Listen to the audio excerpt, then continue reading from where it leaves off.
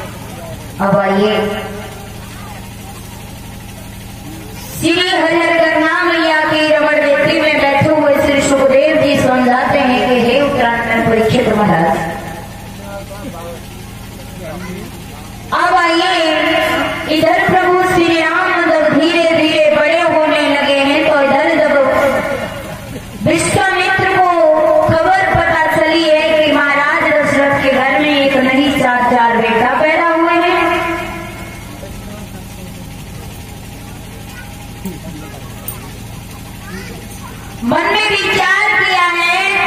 विश्वामित्र ने, विश्वामित्र जो थे भैया जब विश्वामित्र यज्ञ मन करते थे तो राक्षस लोग इनका यज्ञ पूर्ण नहीं होने देते थे। विश्वामित्र ने जब ये जान लिया कि विश्व भूमि पर राम, श्री राम जी का अवतार हो चुका है, विश्वामित्र महाराज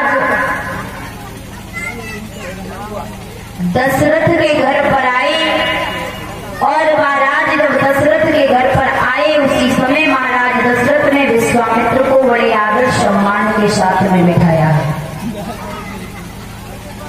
कोई बात नहीं है, इधर पांडाल में बैठ जाओ, इतनी तेज वर्षा नहीं होगी।